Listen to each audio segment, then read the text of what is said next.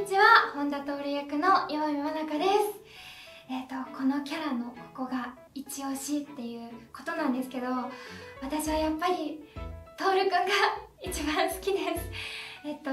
優しい誰にでも優しいところであったりとか自分のことよりもあの誰かのことを優先できるようなあの温かな性格だったりなかなか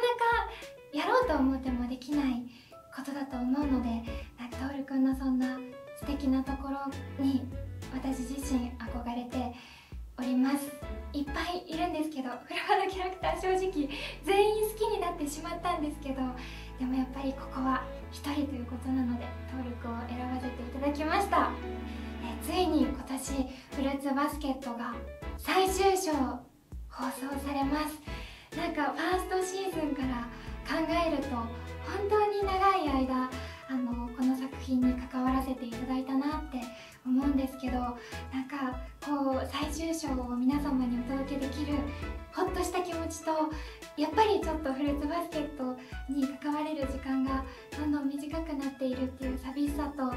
ってしまうなというなんか寂しい気持ちでいっぱいですが、えっと、この物語がです。ね最後まで皆様のもとに届くことを願っておりますので、えー、ぜひ本当に最後の最後まで一番も逃さず見守っていただければなと思います。最後までよろしくお願いいたします。